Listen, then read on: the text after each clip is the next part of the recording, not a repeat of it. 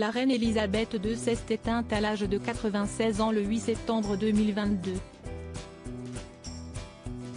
Tandis que les membres de la famille royale se rendaient à Balmoral pour les derniers adieux le prince Harry arrivait seul, sans Meghan Markle, alors tenu éloigné du château écossais. Le 8 septembre 2023 marque la date d'un triste anniversaire, celui de la disparition d'Elisabeth II. Pour cette première année sans la souveraine, Charles III s'exile de Londres et honorera la mémoire de sa mère en privé, aux côtés de Camilla Parker Bowles.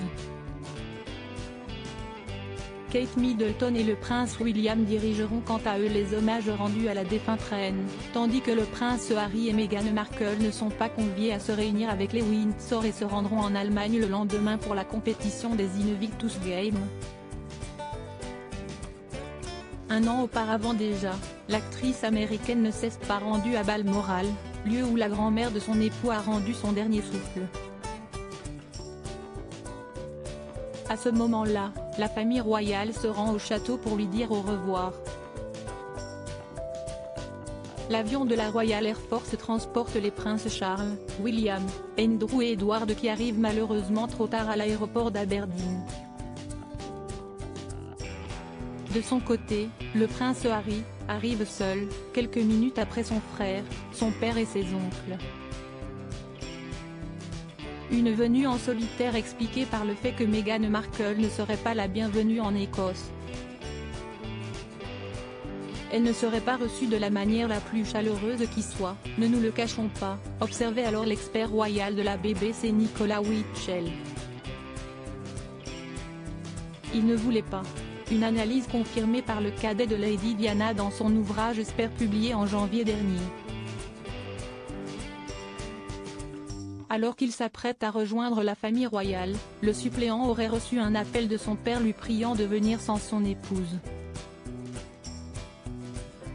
Il a dit que j'étais le bienvenu à Balmoral, mais qu'il ne voulait pas d'elle. Il a commencé à exposer sa raison, qui était absurde et irrespectueuse, écrit-il dans ses mémoires. Comme le rapporte Madame Figaro, l'expert royal Robert Jobson Harry soulignait dans les colonnes du Daily Telegraph Australia, Harry insistait pour que Meghan parte avec lui en Écosse alors que la reine était entre la vie et la mort.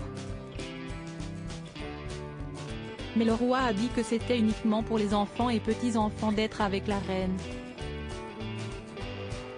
La famille uniquement.